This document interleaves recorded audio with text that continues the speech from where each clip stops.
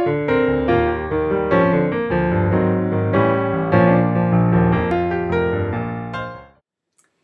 everyone, I'm Liliana, an instructor with Calmer Choice.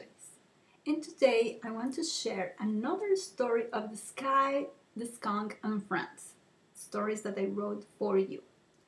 And the friend that we have today is Stevie the Fox.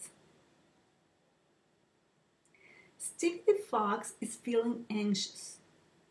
Stevie is going to play in the final soccer game against the nearest town school forest team. They have trained very hard for months, but he notices that it is hard for him to sleep the days before the game or focus on his other school activities. He feels anxious and notices that he cannot think of anything but the game. His heart beats faster and he's constantly moving around.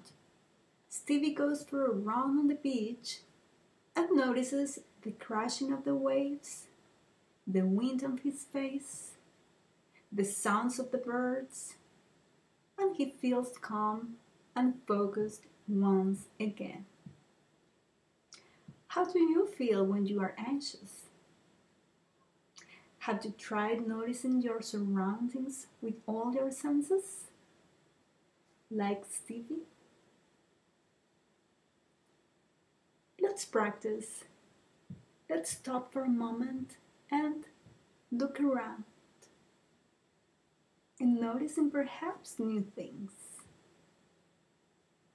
and listen to perhaps sounds around you.